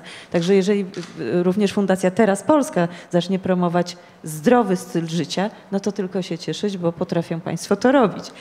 E, Ale chciałabym nawiązać jeszcze i do tego, co przed chwilą powiedział e, pan prezes Przybył, ale też e, do słów pana prezydenta Andrzeja Sadowskiego. I patrzę tutaj na pana doktora Rafała Steca, bo pan jest onkologiem. Pan spotyka się z pacjentami, którzy no, w, w, w wielu, wielu z nich być może e, tę chorobę swoją zawdzięcza, w cudzysłowie, nadużywaniem tych wszystkich e, substancji, o których wcześniej powiedzieliśmy, czy to alkoholu, czy, e, czy e, tytoniu. Rozumiem, że zajmuje się Pan w swojej działalności nie tylko leczeniem, co jest jakby podstawą, ale także profilaktyką, profilaktyką pierwotną, profilaktyką wtórną. I właśnie wracam do słów Pana Prezydenta Sadowskiego. Czy Pan informuje pacjentów o nowych rozwiązaniach naukowych, o tym, w jaki sposób, jakimi drogami, jak łatwiej będzie im wychodzić z pewnych e, nałogów, co mogą zrobić dla swojego zdrowia, korzystając z osiągnięć innowacyjnych. Jak to się odbywa, panie doktorze? Bardzo dziękuję za zaproszenie do tak zacnego grona ekspertów. Gratuluję e, zorganizowania takiej e, konferencji, można powiedzieć, gdzie możemy wymienić poglądy, a Państwo jako dziennikarze mogą przekazać e, tę informację dla opinii publicznej, dla pacjentów, bo Państwo są takim łącznikiem pomiędzy nami lekarzami, pomiędzy e, rządem i, i pacjentami, także Państwo mają ogromny wpływ na to, na zachowania też społeczeństwa. Także gratuluję ogromnie zorganizowania takiej debaty. Chciałbym Państwu na początku uzmysłowić taką bardzo istotną rzecz. Y, Nowotwory to jest druga przyczyna zgonów, ale w niektórych grupach wiekowych to jest pierwsza przyczyna zgonów. Rzeczywiście ta zachorowalność na nowotwory niestety rośnie. I y, tutaj jest ogromna rola profilaktyki, o której y, rozmawialiśmy. Czy to będzie profilaktyka w sensie zapobiegania nowotworom, czyli pro, propagowanie zdrowego trybu życia, czy propagowanie diety. Bardzo mi się spodobało takie stwierdzenie: jesteś tym, co jesz. I myślę, że to jest takie bardzo e, oczywiste, uzmysławiające każdemu, każdej osobie tak naprawdę, e, że jedzenie, dieta ma ogromne znaczenie, jeśli chodzi o nasz organizm. E, Kolejne jest to e, wczesne wykrywanie nowotworów, bo jeżeli wykryjemy nowotwór w fazie wczesnej, to tak naprawdę mamy wyleczalność na poziomie 90-100% bez używania agresywnych metod leczenia. I tak jak pani redaktor powiedziała, pacjenci e, często w momencie rozpoznania nowotworu, bo wcześniej myśleli, że to ich nie dotyczy, to gdzieś kolegi, dalszej rodziny, ale tu nagle przychodzi szok, rozpoznanie raka. I później sobie uzmysławiają jedną ważną rzecz. Po co paliłem? Nie dość, że zachorowałem, to ja jeszcze za to zapłaciłem, żeby zachorować na raka, na nowotwór to trzeba to jakby uzmysławiać pacjentom, że tak naprawdę mają wolny wybór. Mogą zapłacić za chorobę, za to, że zachorują, albo mogą y, prowadzić zdrowy tryb życia. I tu też jest ogromna Państwa rola jako mediów w przekazywaniu e, e, tego i pro, propagowaniu, promocji zdrowego trybu życia. W Warszawie tego nie widać, e, również nie widać tego e, jakby w, w, w większych miastach. Natomiast, natomiast tutaj były wspomniane orliki. Jak Państwo pojadą do mniejszych miejscowości, gdzie te orliki są, to kiedyś na podwórku były dzieci, nie było boisk. A teraz mamy boiska, ale nie ma dzieci. Te boiska stoją puste. I to też jest taki, taki obrazek, że, te, że dzieci zamiast w pewnym sensie prowadzić aktywny tryb życia, siedzą przed mediami, przed telewizorem, laptopem, komputerem, telefonem i na tym się ogranicza ich codzienna aktywność fizyczna. Ja oczywiście staram się pacjentom mówić, y, czy zarówno to będzie profilaktyka pierwotna, czy wtórna, której mamy za zadanie albo zapobieganie wystąpienia choroby nowotworowej, albo jej wczesne wykrycie. E, Jak Państwo wiedzą, kolonoskopia, e, zgłaszalność pacjentów jest niewielka na kolonoskopię. To jest tam kilkanaście procent e, tych pa- pacjentów. A mało kto wie, że wykonanie kolonoskopii, znieczuleniu. To jest możliwe w, w, tej chwili technicznie, więc jest to badanie całkowicie bezbolesne. Wykonanie kolonoskopii, usunięcie polipa, na tym się kończy leczenie. To jest całe leczenie raka jelita grubego jeżeli to zostanie wykonane wcześniej. Natomiast jeżeli mm, zostanie stwierdzony rak jelita grubego, to pacjenta czeka ciężka operacja, ogromne cierpienie, chemioterapia, radioterapia. Tu jest skala leczenia zupełnie inna. Dlatego warto, żeby pacjentom uzmysłowić, jaki mają zysk z wykonania kolonoskopii, a jaką stratę, jakim jest następstwem. To już nie mówię o kosztach państwa, bo leczenie raka grubego jest kilkaset tysięcy złotych może kosztować jednej osoby. Ale wykonanie jednego badania kolonoskopowego, usunięcie polipa powoduje, że leczenie na tym się kończy. I pacjent jest zdrowy. I musi się kiedyś tam zgłosić na kolejną kolonoskopię, też w znieczuleniu, całkowicie bez, bezbolesnym badaniu. Także y, jest to, jest to niewątpliwie y, taki, można powiedzieć, nacisk na profilaktykę, bo profilak- profilaktyka jest tańsza, e, powoduje dla państwa dużo mniej kosztów, a jednocześnie pacjent jest narażony na mniejsze cierpienie podczas całej procedury leczenia onkologicznego. Bardzo dziękuję i teraz e, chętnie wrócę do pana ministra. Powiedziałam, że będę miała szereg pytań i one w ogóle rodziły się w czasie tutaj mm, dyskusji, bo usłyszeliśmy między innymi, e, pan minister powiedział o dyrektywie mm, antytytoniowej, powiedział o tych planach, że jeśli dobrze pamiętam do 2030 roku Uważają Państwo, że realnym jest, aby Polska stała się krajem wolnym od tytoniu? E, usłyszeliśmy, że jest to chyba utopia, ponieważ te przyzwyczajenia e, no i nałogi towarzyszą ludzkości tak naprawdę od, od e, stuleci. I dlatego chciałam do tego wrócić i zapytać, jakimi narzędziami Państwo chcą to osiągnąć? Czy to będzie ewolucyjne, czy rewolucyjne? No rewolucja zawsze kojarzy się z, z jakąś przemocą. Czy myślą Państwo y, y, o tym, żeby y, w tych działaniach brać pod uwagę na przykład y, y, właśnie produkty zmniejszonego ryzyka, o których usłyszeliśmy? Proszę coś więcej powiedzieć o planach ministerstwa. Ministerstwo myślę jest dość pragmatyczne i także proszę pamiętać o tym, że kierownictwo resortu to są jednak lekarze, którzy potrafią korzystać z badań naukowych i analizować to, co się dzieje w, w bieżącej literaturze. E, Nasz resort jednak dopuścił e, możliwość stosowania mm, innowacyjnych wyborów, wyrobów tytoniowych. Wcześniej to było niemożliwe w poprzedniej ustawie. My sobie zdajemy sprawę, że chociaż bardzo nie lubię mówić o mniejszym em, źle, e, to no, musimy dać wybór. E, Nie jesteśmy ortodoksyjni. Ludzie mają mieć szansę na wybór, a my mamy tak działać, żeby to nie było im potrzebne. E, Jeżeli prowadzimy dobre programy edukacyjne, także zapytamy się, a po co ty tak naprawdę palisz? Do czego to jest potrzebne? No to może osiągniemy jakiś sukces, kiedy postawimy e, dobrą diagnozę i wdrożymy bardzo racjonalny, spokojny program edukacyjny od rodziny, szkoły. Jak się ma zainteresowania, to się nie ma czasu na takie rzeczy po prostu. No, I to jest nasza, nasze, nasze zadanie. Spokojna, rozważna, mądra polityka ze stosunkowo małą ilością zakazów, a dużą ilością edukacji. Aczkolwiek ja tutaj mm, nawiążę do, mm, do wypowiedzi pana mm, Krzysztofa Brzuski, który zresztą przywoływał mnie w momencie, kiedy powiedział, że pewne rzeczy trzeba robić administracyjnie. Tak, zdaję sobie z tego sprawę, że akurat jeżeli chodzi o alkohol, to pewne rzeczy powinny, e, powinny e, być e, działaniami stricte ad- administracyjnymi. Być- Nie chcę mówić tutaj, bro- broń Boże, o podatkach, bo to nie jest ta kategoria, ale na przykład My sami przechodzimy y, y, obojętnie wokół rzeczy, które się nie powinny zdarzać, e, które są zakazane i tolerujemy je. No zaraz będą wakacje i proszę łaskawie zrobić sobie taki mały test. Jeżeli będziecie Państwo w pierwszym lepszym osiedlowym sklepie, to proszę zobaczyć, co się dzieje najbliżej kasy, co stoi najbliżej kasy. Najbliżej kasy stoją małe buteleczki, tak zwane małpki, tak? albo jeszcze mniejsze małpki, nie wiem jak one się nazywają. Są też takie kieliszki, tak zwane szoty, tak? 25 e, e, mililitrów do szybkiego spożycia. Tak? I one są, e, dla kogo one są przeznaczone? One kosztują parę groszy. One są przeznaczone dla młodzieży. Proszę zobaczyć, kto je kupuje.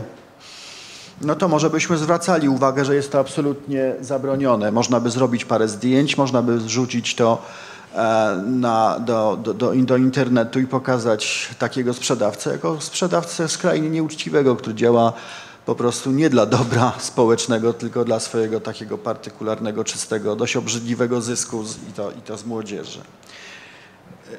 Natomiast y, ja wiem, że są oczywiście nowe technologie i my nad tymi technologiami także pracujemy.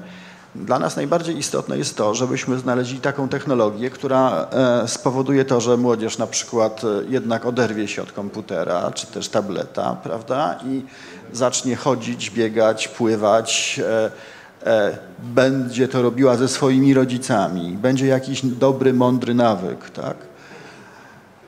E, Także nawyki żywieniowe. No, zrobiliśmy, e, czy kontynuujemy e, dalej zdrową żywność w szkołach. Zmodyfikowaliśmy rozporządzenie, które było szalenie ortodoksyjne i nie na tym rzecz polega. Nie można za- zabronić wszystkiego, ale można mądrze zapisać prawo, żeby był i wybór, i zdrowie. Tak? Nie będzie oczywiście słodkich napojów, ale będzie większy, większa gama wyboru chociażby, nie wiem, napojów mlecznych, prawda?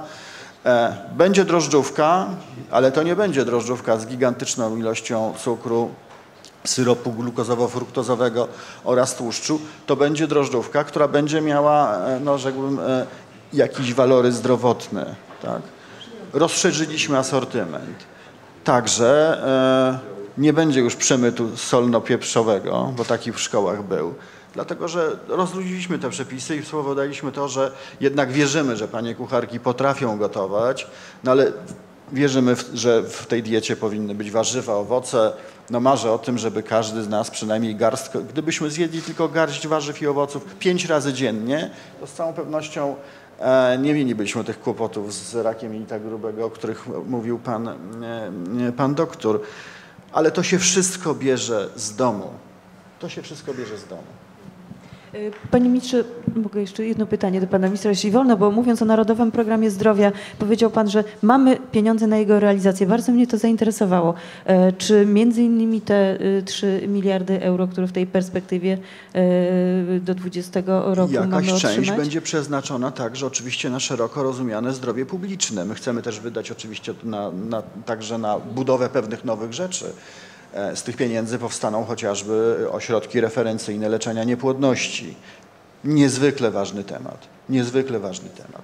Ale mamy pieniądze, które, które pochodzą głównie z e, funduszy hazardowych i one są, one są przeznaczone na realizację sześciu celów operacyjnych e, i to jest po kilkanaście e, milionów złotych na to, żeby kupić dobry spot, żeby zafunkcjonować w mediach społecznościowych, żeby przeprowadzić e, całą kampanię społeczną, medialną, żeby pewne rzeczy po prostu zostały, zostały w głowie. Wśród tych wszystkich celów operacyjnych być może najważniejsze to są właśnie te cele żywieniowo, e, żywieniowe i te cele związane z aktywnością e, fizyczną. No ale mamy wsparcie. No wreszcie to jest tak, że ten e, narodowy program jest realizowany nie przez jeden resort, tylko Rada Zdrowia Publicznego to jest, to jest ogromne ciało, bardzo sprawnie zresztą zarządzane przez pana ministra Szweda. I tutaj rzeczywiście wszystkie resorty idą jednotorowo, to znaczy jest nak- mamy wreszcie busolę. To, to nie jest tak, że, że oczywiście mogą powstawać inne programy, które, które, będą, e, które będą kompatybilne z, e, z naszymi działaniami i bardzo, bardzo zresztą cieszymy się, że one powstaną, ale wreszcie będzie coś bardzo konkretnego, takiego jednoznacznego i, i pryncypialnie wdrażanego przez wiele lat. E, ja- Jak w połowie, w tej chwili jestem Krakusem i e, jak obserwuję styl życia e, tamtych mieszkańców, e, bo moja żona dziś mieszkają w Krakowie, to tak, e, na całym rynku, w okolicach, no, na rynek zabytkowy, w okolicach, gdzie mieszka pewnie z pół miliona ludzi, nie ma tak naprawdę jednego miejsca do zabawy dla dzieci. Poziom zapylenia jest taki, że ja myślę, że osoby zajmujące się leczeniem raka płuc i innych rzeczy są gigantyczne. Natomiast oczywiście nie ma żadnego problemu z kupieniem alkoholu każdej porze dnia i nocy, papierosów. E, można powiedzieć, że ktoś wymyślił tak to miasto, żeby zamordować mieszkańców. E, I my mówimy o rzeczach subtelnych. tak?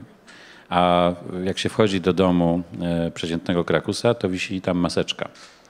Maseczka jest wtedy, kiedy ja mam taką aplikację zamontowaną, kiedy poziom e, zapylenia przekracza tam 200-300%, 100% już się nikt nie przejmuje, a bywa 1000%. A że to są rzeczy, które powodują, że nasze dywagacje o tym, czy my się troszeczkę więcej w Warszawie ruszamy, czy mniej, e, nie mają żadnego znaczenia, ponieważ e, zmasowanie ataku na zdrowie w takich miejscach jak Kraków, Rabka, Nowy Sącz, e, czyli uchodzących za e, szczególnie te, te ostatnie kurorty, żywiec, jest dramatyczne. Czy jest jakiś pomysł, żeby ratować tych ludzi? Bo w tej chwili naprawdę jest tak, że mam wrażenie, jakby pa państwo polskie poświęciło no, około 3 milionów ludzi, którzy według reszty mieszkają w bardzo zdrowych miejscach. Ministra zdrowia. Patrzę się tutaj, czy jest rzeczywiście koło mnie minister środowiska, ale, ale być może powinien się tutaj znaleźć. To oczywiście także rola samorządów dość istotna, urbanistów miejskich. Przecież to, że w Krakowie jest smog, wzięło się głównie z powodów projektowych. Tak zaprojektowano miasto, że wszystkie kanały wentylacyjne, tak zwane kanały powietrzne zostały zabudowane i, i no poza tym samo położenie Krakowa jest nieszczególnie dobre. Natomiast też oczywiście wiem, że się, że się sporo jednak e, dzieje, dlatego że po pierwsze no to zapylenie jest w pewnych okresach, kiedy, kiedy nie ma wiatrów, kiedy, kiedy rzeczywiście spala się ogromną ilość e, substancji, które wydają bardzo toksyczny dym w piecach. E, no, wiem, że w Krakowie zdaje się będą jakieś zakazy kominkowe, że, że, że może będą centralne kotłownie, że może się wszystko zmieni. Natomiast no, w dużej mierze to jest kwestia, w jaki sposób teraz odbudować to miasto, żeby to, było, to miasto było bezpieczne, bo no, i oczywiście nie multiplikować e, zagrożeń. Że właśnie w Krakowie nie powinno się pewnie palić papierosów. 68%. No to dzisiaj jest super, są wiatry prawdopodobnie. Natomiast no, nie wszystko jest do zrobienia przez rząd. To myślę, że sami ludzie, sami mm, mieszkańcy Krakowa powinni podjąć racjonalne działania, wybierając takie władze, które zapewnią im bezpieczeństwo. I ja muszę powiedzieć, gdybym był e, e, mieszkańcem Krakowa, to wybrałbym takiego prezydenta, który na pierwszym miejscu postawi zdrowie i zrobi racjonalny ciąg zdarzeń doprowadzających do tego, żeby po prostu ograniczyć w istotny sposób e, zanieczyszczenia środowiskowe. Ale one są też w wielu miejscach. One są zależne także od naszych nawyków Proszę o tym łaskawie pamiętać. I to, to, co może zrobić rząd, i myślę, że rząd to robi, to jest racjonalna polityka energetyczna. To, no, ja nie jestem ekspertem w tej dziedzinie, ale myślę, że można by znakomicie zmienić e, nawyki chociażby grzewcze, które są prawda, w, e, w terenie, czy też doprowadzić do sytuacji, żeby cały przemysł jednak emitował znacznie mniejszą ilość, ilość zanieczyszczeń. To wszystko się dzieje. Tutaj za to odpowiada, za to odpowiada rząd. Za pewne sprawy odpowiada rząd, samorząd, ale też powiedział pan minister sami ludzie. To przejdźmy od tego ogółu znowu do szczegółu. Panie profesorze, pan minister przed chwilą powiedział, że e, e, można się było zwrócić do e, konkretnej osoby, po co ty człowieku palisz, ale czy pan może powiedzieć do pacjenta, po co ty człowieku jesz? Jak pan sobie radzi z takim edukowaniem pacjentów w zakresie zdrowego żywienia? E, o, oczywiście jest pierwsza podstawowa rzecz. Wielu lekarzy nie udziela pacjentom porad dotyczących stylu życia. I to jest dosyć powszechne zjawisko, wynikające nie tylko z tego, że jest mało czasu i wiele różnych e, obowiązków i tak dalej. Po prostu, no niestety, wina w znacznej mierze leży po stronie lekarzy, którzy nie dostrzegają tego istotnego elementu. Dwa, też e, jest takie porzekadło, że należy praktykować religię, którą się głosi. Więc jeśli no, wygląd lekarza dokumentuje, że rozmija się jego styl życia zupełnie z zasadami, to również edukacja i rady przez niego głoszone są mało skuteczne. E, ja zawsze, i to nie jest mój pomysł, są też i podręczniki postępowania, jak starać się skutecznie zmienić styl życia, e, zawsze wyznacza się cele osiągalne, e, motywując dodatnio, czyli nie strasząc, bo od razu powiem, że tu straszenie w ogóle nie działa, znaczy wręcz przeciwnie, straszenie działa tak, że osoba, której się grozi, bierze poważnie groźby i w ogóle już się u nas nie pojawi. Na, natomiast oczywiście już nie będziemy wchodzili w y, technikalia, m, jakiego rodzaju diety. No, tu bardzo dużo miejsca e, mają pewne e, zabiegi e, dotyczące zmiany zasad zachowania. To trzeba zidentyfikować, czy mamy do czynienia z podjadaczem, czy z tak zwanym czyścicielem. Nie, Bardzo przepraszam, są takie fachowe, fachowe terminy i próbować tu pacjentowi, pacjentowi pomóc. Natomiast ja, jeśli mogę, to odniosę się do jednej kwestii, ponieważ akurat e, pan e, prezydent Sadowski wyszedł, a opowiadał o bezpiecznych papierosach, więc chcę podkreślić, że nie ma bezpiecznych papierosów, te tak zwane e-papierosy. Doświadczenie z nimi jest krótkotrwałe, stąd też trudno mówić o tym, że one na pewno zredukują niekorzystne skutki palenia tytoniu. One także zawierają substancje szkodliwe dla zdrowia. To są roztwory oparte na glikolu, do których dodaje się jeszcze jakiegoś rodzaju substancje chemiczne, zapachowe, które w wysokiej temperaturze przekształcają się w różnego rodzaju e, paskudztwa. Prawdą jest, i tu polecam film Informer z Russellem Crowe i Al Pacino, że tytoń obecnie palony różni się od tego tytoniu, który był stosowany w papierosach e, kilkadziesiąt lat temu, ale te zmiany szły w dwóch kierunkach. Po pierwsze, żeby nie szczypało w język, to raz. Dwa, żeby nikotyna się szybciej wchłaniała, czyli żeby szybciej uzależnić. Po prostu w tej chwili stężenie nikotyny po wypaleniu papierosa jest niemalże takie, jakby człowiek dostał to w żyłę. tak? E, I, I w tę stronę tak naprawdę idzie przemysł tytoniowy, a nie, bo to nie jest możliwe w stworzenie e, bezpiecznego papierosa. E, Jak zrozumiałem pana prezydenta Sadowskiego, przepraszam, że za, za niego, ale wyszedł. Nie chodziło o papierosy, tylko o papierosy tak zwane podgrzewane, czyli o tej niż... Nie, nie, nie o papierosy, właśnie nie. Chodzi, chodzi o tak zwane podgrzewane papierosy, czyli o tej niższej... Nie, nie, nie, właśnie nie. Nie, to jest zupełnie inna technologia. Znaczy ja to widziałem po prostu na własne że bo jeden człowiek przy mnie to palił, pokazywał, twierdził tak. Ten temat, proszę tego nie mylić. E, E-papierosu to jest, e, to polega właściwie nawet nie na paleniu, tylko na tak zwanym wapowaniu. wapowaniu. Wdycha się rzeczywiście e, substancje zawierające bardzo liczne substancje toksyczne, w tym bardzo duże ilości nikotyny. E, Końcówka spalania jest szalenie niebezpieczna, dlatego że e, mamy tam no, tablicę Mendelejewa w tej chwili. To rzeczywiście jest pewna nowość. Pali czy wapuje bardzo duża ilość polskiej młodzieży. W województwie łódzkim e, 40% e, młodzieży do lat 17 miało już kontakt z e, e-papierosami. My niewiele wiemy na ten temat, co się będzie działo dalej w populacji. W każdym bądź razie już w tej chwili widać i to w geometrycznym y, postępie przybywa prac pokazujących ogromne zagrożenie, szczególnie dla systemu immunologicznego. Proszę pamiętać o tym, że jeszcze 50 lat temu e, były reklamy e, tytoniów e, w, w, w Stanach Zjednoczonych czy papierosów, które mówiły American doctors like smoke lucky strike. Także i lekarz był nośnikiem informacji, on, był, on, był, e, on, on, on pokazywał, że to jest zdrowe, prawda? No teraz żaden amerykański doktor by tego nie zrobił, ale jest 50 lat doświadczeń. Wiemy, że to jest jeden z głównych trucicieli i coś strasznego, co nas spotkało, prawda? Nie wiemy, co będzie dalej z, z tymi papierosami. W związku z tym akurat tutaj resort jest niezwykle ortodoksyjny.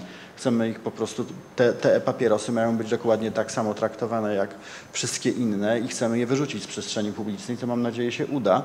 Nie jesteśmy jedynym krajem e, na świecie i to muszę powiedzieć, że przez te pięć miesięcy, kiedy pracowaliśmy nad ustawą, coraz więcej argumentów dostawaliśmy, że robimy dobrze. I tutaj muszę powiedzieć, że mam także poczucie swojej osobistej satysfakcji, dlatego że poświęciłem bardzo wiele pracy na to, żeby zrobić taki solidny research dotyczący zagadnień, które są bardzo nowe. My mamy coraz to większą ilość zagrożeń, które, które za chwileczkę do nas przyjdą, albo może nie, no bo w tej chwili pracujemy z panem, z panem e, e, dyrektorem Brzuską, żeby na przykład do Polski nie wszedł e, e, sproszkowany alkohol. To jest bardzo wielkie zagrożenie. Proszę się nie śmiać, tak, powdered alkohol to jest coś, co jest wielkim zagrożeniem dla, dla, dla młodzieży. Na szczęście już chyba dwa stany w tej chwili e, zabroniły używania tego, a do Polski mam nadzieję nie wejdzie to dlatego, że będziemy tutaj powinniśmy mieć absolutny zakaz. Bardzo dziękujemy. W tej dyskusji skupiliśmy się na takich używkach właśnie jak alkohol i papierosy, ale w powszechnym e, mniemaniu one są e, niestety e, jakby traktowane tak bardziej lajtowo, uważane za mniej niebezpieczne niż narkotyki, o których w ogóle nie wspomnieliśmy. Drodzy Państwo, dyskutujemy przy tym stole, ale Państwo się przysłuchują naszej rozmowie. Mam pytanie, może chcieliby Państwo o coś dopytać naszych ekspertów? Proszę bardzo. Proszę bardzo, proszę. E, Nie wiem, czy ktoś chciałby podać mikrofon. Nie, ja już, ja już idę. Nie, ale dobrze, bo żeby wszyscy słyszeli. Dzień dobry, Wojciech Kamiński z Gazety Polskiej. Codziennie. I mówiono tutaj, że sprawy zdrowotne mm, dzieją się, czy prozdrowotne dzieją się przede wszystkim w głowach, ale zapomniano o kieszeniach.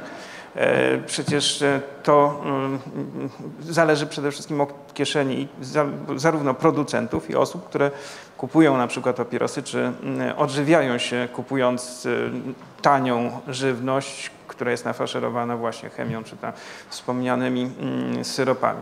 Y, Po pierwsze, jakie mm, koszty wiążą się z niezdrowym stylem życia, y, czy z problemami, chorobami cywilizacyjnymi, czyli koszty ponoszone przez państwo?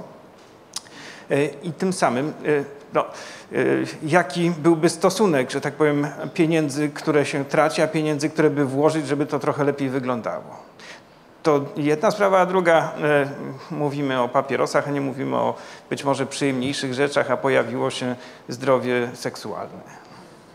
Do kogo kieruje Pan pytanie, albo inaczej, kto z Państwa chciałby odpowiedzieć? Proszę bardzo. Pan dyrektor Brzuska, proszę.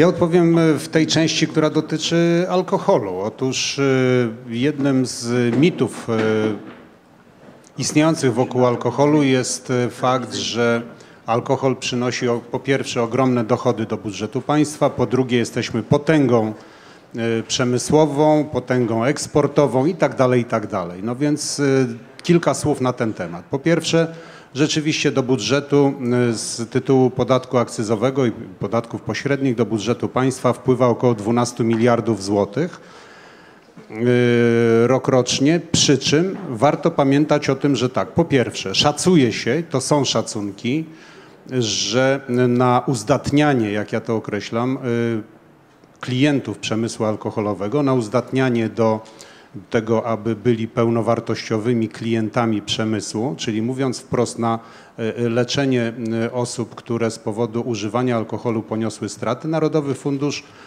może wydawać od pomiędzy 8 a 12%, tak jak w całej Europie, swojego budżetu. Więc proszę popatrzeć, że to już w zasadzie równoważy kwestię dochodu do budżetu. To jest pierwszy element. Drugi, no wyliczono, że te straty, które są przy okazji funkcjonowania alkoholu na rynku, y, artykułu legalnego i dla jasności jest oczywiste, że nikt nie myśli o prohibicji. To jest w ogóle poza dyskusją, bo tego nie udało się wyeliminować nikomu, więc nie ma powodu, żeby, żeby tutaj być, mm, być bardziej, y, y, bardziej ortodoksyjnym niż, niż, niż być można.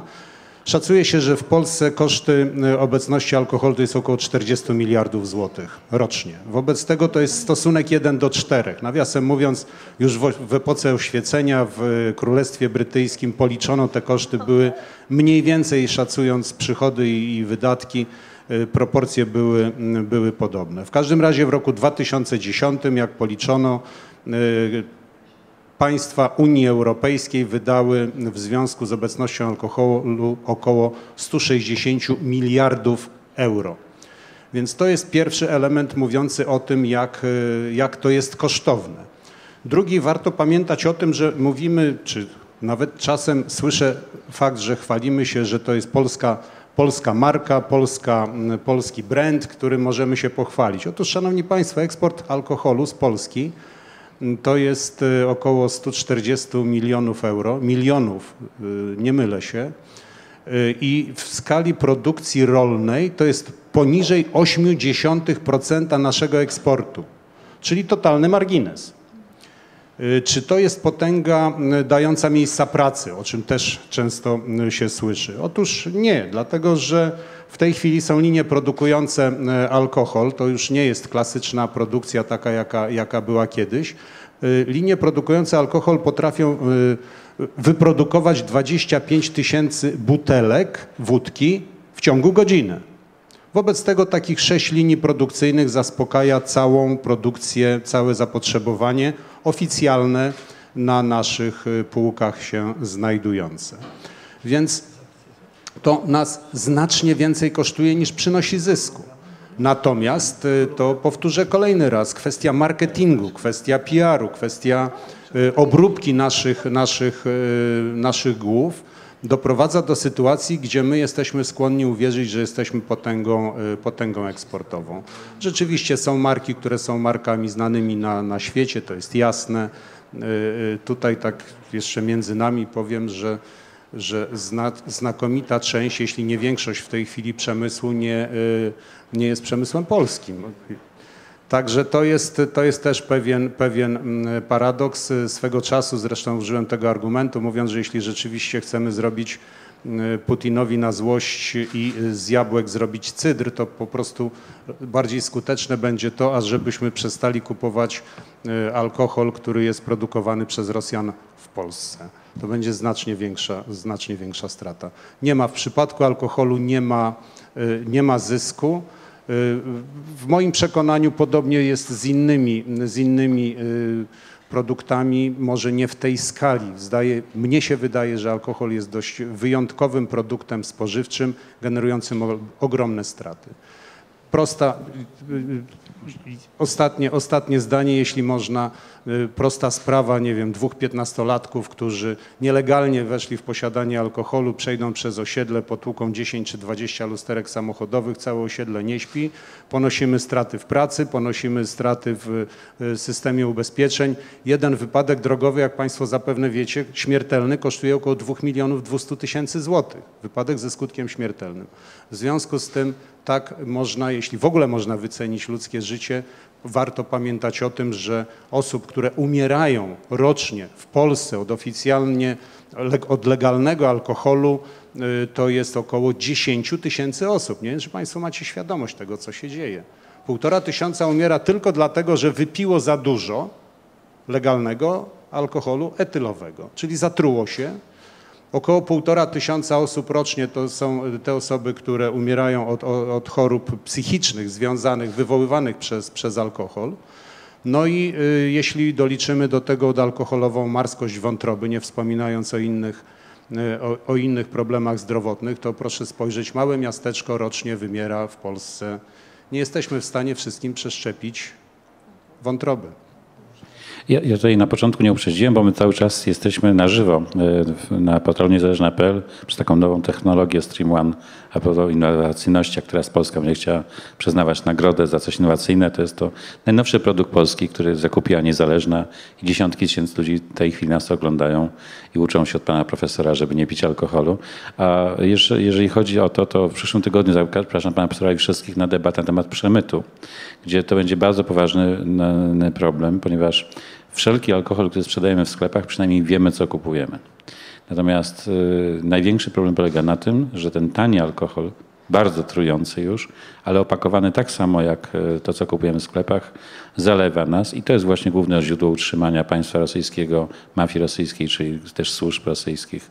E, I y, te tak zwane mrówki, których pozwoliliśmy tak, z różnych przyczyn na przemyt alkoholu, papierosów, to są w tej chwili najwięksi truciciele, e, a straty z tego powodu do państwa, do budżetu państwa sięgają dziesiątek miliardów e, złotych. Także zanim pan minister zamorduje palenie, trzeba zatkać wszelkie granice, bo my zakażemy legalnych papierosów, legalnego alkoholu, a nas zaleje mafia, która tutaj nielegalnie ogromne ilości na rynek wlewa tych produktów, niszcząc i nasze zdrowie, i nasze finanse. E, bardzo proszę. W odpowiedzi na Pana pytanie, Pan Profesor chciałby dodać jeszcze coś.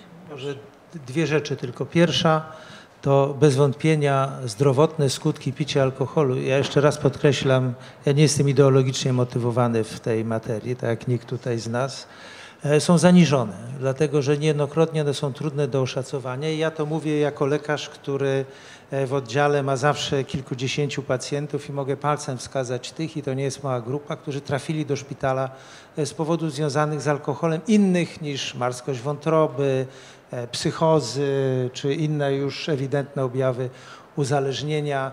E, To trzeba pamiętać, że alkohol jest toksyczny dla serca. To nie jest prawda, że mała ilość alkoholu chroni e, serce, wywołuje zaburzenia rytmu, wywołuje zaburzenia emocjonalne, depresję i ci ludzie nie przychodzą dlatego, że mają problem alkoholowy. Oni mają inny problem zdrowotny, którego nikt nie wiąże bezpośrednio z używaniem alkoholu. Dwa, jeśli Pan pyta o perspektywy i e, odległe skutki, to ja mogę od razu powiedzieć, że jeśli obserwowane obecnie trendy e, w e, profilu ryzyka społeczeństw się utrzymają, to nasze dzieci będą żyły krócej niż my.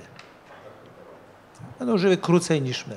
Amerykanie, którzy są świetni w liczeniu, wyliczyli już, że nastolatki będą e, żyły 10 miesięcy krócej niż ich rodzice. Ale życie...